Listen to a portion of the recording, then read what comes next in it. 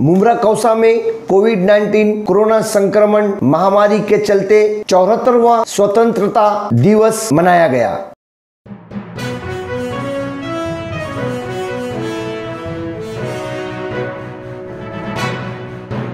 मैं अफराहिम मीर, आज का महानगर में आपका स्वागत है। 15 अगस्त, स्वतंत्रता दिवस पूरे भारत में सन 1947 के बाद से हर वर्ष मनाया जाता है। परंतु इस वर्ष का स्वतंत्रता दिवस महामारी के चलते बड़ी सावधानी, सतर्कता और समस्याओं से भरा जश्न मनाया गया। जैसे हर वर्ष धूमधाम से मनाया जाता है, परंतु इस वर्ष ऐसा धूमधाम कहीं दिखाई नहीं दिया। मगर भारतवासियों ने स्वतंत्रता दिवस को सम्मान देते हुए अपने अपने तरीकों से अपने अपने प्रकारों से अपने अपने ढंग से स्वतंत्रता दिवस को मनाया। जैसे सरकारी कार्यालय हो, पुलिस विभाग हो महानगर पालिका हो, अग्निशमन दल हो, हर जगह भारतवासियों ने अपने अपने तरीकों से 15 अगस्त स्वतंत्रता दिवस को मनाया। इसी तरह मुमरा कौसा में भी आदेशों का पालन करते हुए स्वतंत्रता दिवस को मनाया गया। इसी स्वतंत्रता दिवस को मुमरा कौसा में मुमरा पुलिस स्टेशन ने अपने तरीके से जश्न मनाया, जिसकी कुछ झलकियाँ हम आपको आगे बताएँगे। लेकिन सबसे ज़्यादा स्वतंत्रता दिवस की धूम मचाने वाले मुमरा कौसा में एस के ग्रुप को देखा गया, यानी शहजाद खान ग्रुप को देखा गया।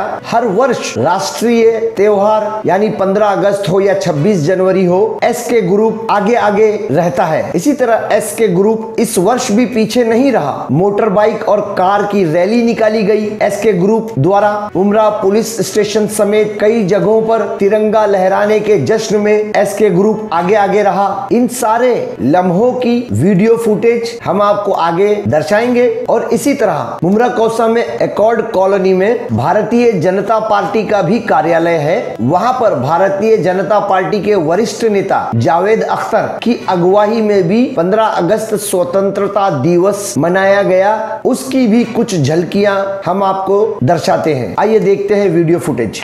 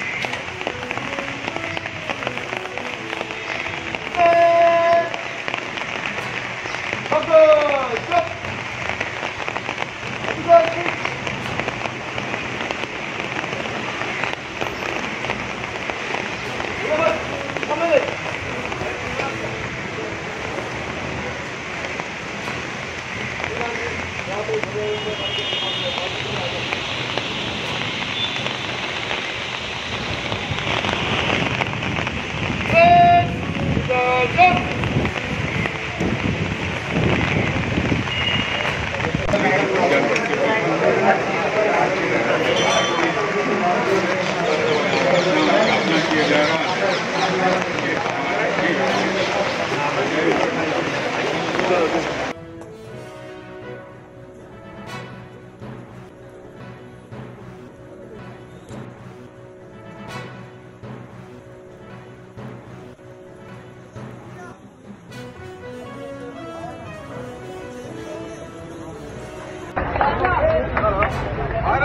aquí. ¡Sí! ¡Sí! ¡Sí!